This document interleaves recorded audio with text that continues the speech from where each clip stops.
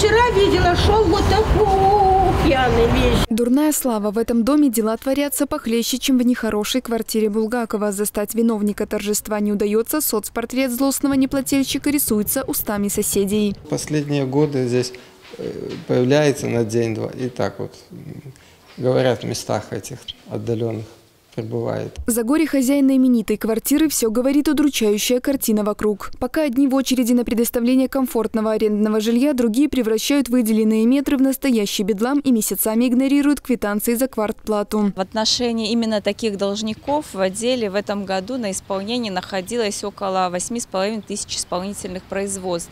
Эти долги взыскиваются в принудительном порядке.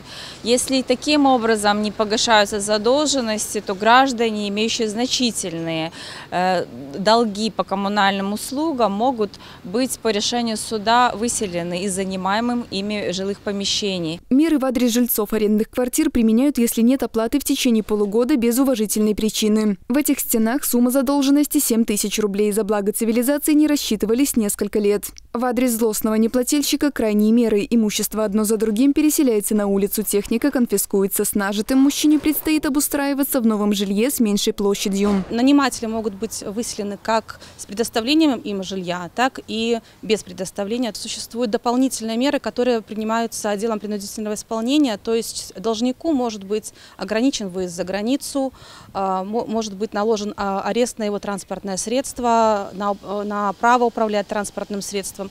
Также он не сможет получить посылки с Wildberries, Озон, ну и так далее из Белпочты.